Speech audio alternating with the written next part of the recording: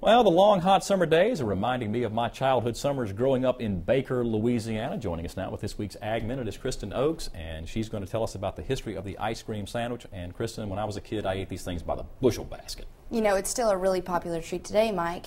And surprisingly, despite the economic recession, national sales of ice cream actually went up last year as Americans found comfort in their favorite dessert.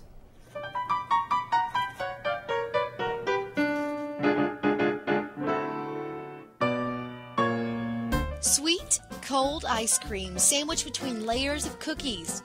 This summer's treat is an old time comfort food of many Americans. The English trifles, as they were once called, can be traced all the way back to the Renaissance era, when they were made from sweet cream and biscuits. Advances in freezer technology made ice cream available to many Europeans and Americans by the 18th century.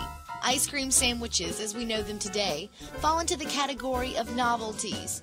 According to food historians, ice cream novelties were introduced in the late 19th century. These were the treats of the common folk, cheaply priced items sold by street vendors in cities, resorts, and even fairs. Ice cream sales and other comfort foods typically increase during recessions, proof that people find relief even in the last drop.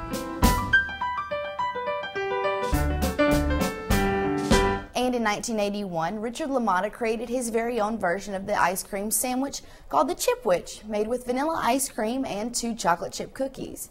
But my favorite is still the good old original. Now on to some TWILA trivia. Last week we asked you, in which city is the National Cattlemen's Beef Association located? And the answer is A, Denver, Colorado. Now for this week's question, which U.S. president named July as National Ice Cream Month? Is it A, Jimmy Carter, B, Ronald Reagan, or C, George W. Bush? Log on to our website, twilatv.org, submit your answer, and we'll send the winner a TWILA coffee mug, t-shirt, and a cap. Stay tuned, we still have a lot more to come on This Week in Louisiana Agriculture, including your chance to have the TWILA team spend a week in your town. Stay with us.